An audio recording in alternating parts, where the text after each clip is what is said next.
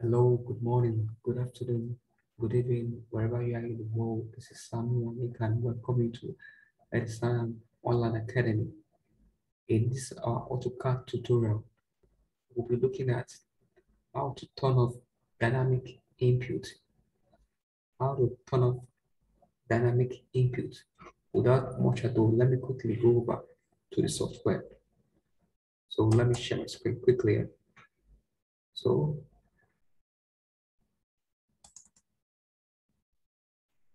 So right now, this is my AutoCAD screen. Let me turn off the grid. So um, there are times when you are drawing. For instance, um, my dynamic input is already turned on. It turned already. If you want to turn it off, turn it on. Come down to where you have this bar here. Come down here. You have model, you have grid, snap mode. This is dynamic input. This is dynamic input. This plus sign here with a dash below. This is dynamic input. Is on the status bar. So dynamic input is before ortho mode. Currently, it is turned off here. If it is not displayed on the status bar, for you to display it, you have to go to customization. That is the last two here. This three dash, come over here and click. On clicking, then go up till you see dynamic input. That is where my cursor is over and over. So you make sure it is turned on here. Already my own is turned on, that is it's checked already. If yours not on, you can check it. When you turn it, when you check it here, it's going to be displayed on your status bar. Okay, it's going to be displayed on your status bar. So right now it is turned off, but there are times that you might not, as a beginner, it's going to be on. So let me draw. It is off right now. Let me draw, draw a line while it is off. And then I'm going to draw the same line while it is actually turned on. So I'm going to, right now, I'm going to, let me set my limit. I'm going to set my limit.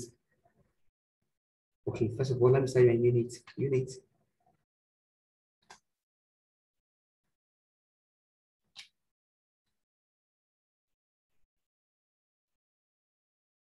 Unit.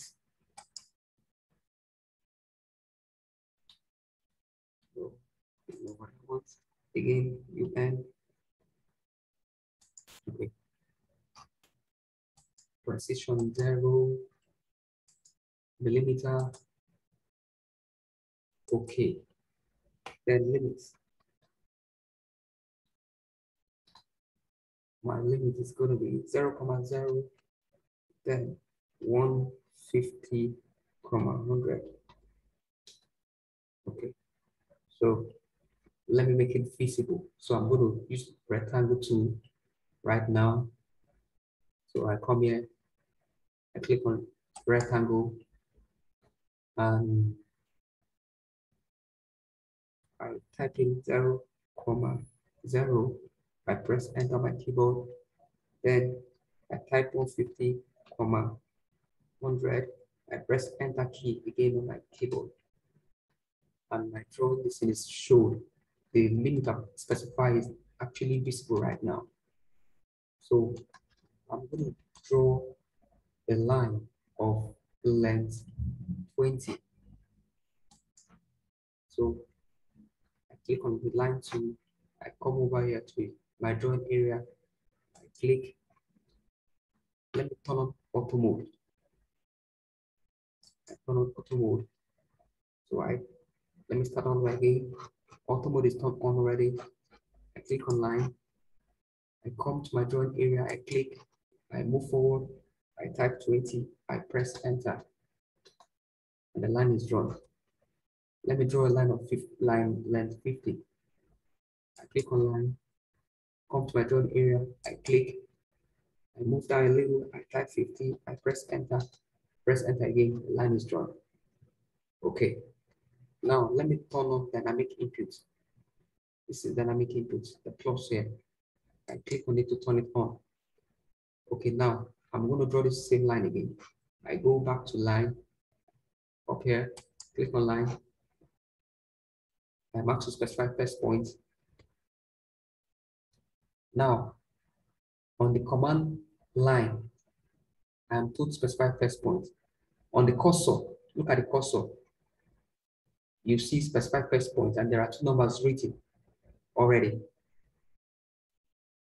So those two numbers actually are indicating the coordinates, the x and y coordinates, my position with respect to the origin, zero, zero. If I come here to the origin, it's going to show zero, zero. I move up a little, it show me 0, 028. That means um still on, on the X, I'm on position zero, while on the Y, I'm on position 20, whatever is showing there at that moment. So when dynamic input is turned on, when you move on the screen, your it's going to actually show you your coordinates, your position respect to the X and Y at this with respect to the origin. So right now, I can come here, I draw. So, but so far, based on my tutorials, we've been working without dynamic input. So in case dynamic input is disturbing you, okay, let me go ahead and draw the line of length 20. So I click, I move to towards the right, I type 20, I type 20. Now, the 20 actually shows close to where I'm drawing the line. The 20 appears. It's no longer, the 20 is no longer appearing on the command line anymore. So I press enter. Press enter again terminate the line, and the line is drawn. Let me draw the line of length 50. I go to my command, to my, to my line to up here, I click on line, I come to the screen. Now, where I want to start drawing, the coordinates with respect to x and y are showing, that is 87, 86. I click my first point. Now, I want to draw a line of length 50. As I'm increasing, as I'm going down, the line is increasing. Number is showing, the length of the line is showing. I type 50. 50, 50 is just close to the cursor. The 50 appears. I press enter and the line is drawn. I press enter again to terminate the line. So, but in all the tutorials I've done so far, dynamic input, I've never shown dynamic input. I've not been using dynamic input. So it might act like a disturbance to you. So for you to turn it off, for it not to disturb you, for you to focus on command line alone, the command window alone, command line. You come down here to the status bar where you have this plus. When you see dynamic input, you click on it to turn it off and it will interfere with your work.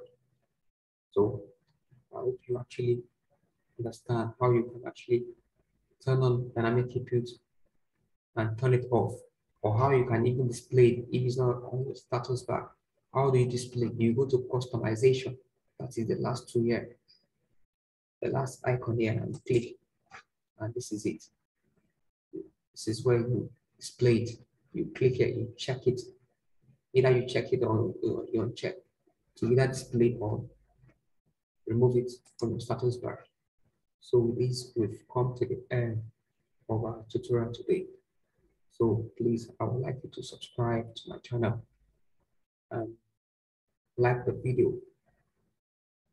Drop your comments. If you have any question, you are free to drop them. You can actually drop any question or any comment you have in the comment section or You can um WhatsApp me on plus two three four eight zero three eight two nine five one eight five. Thank you. Bye.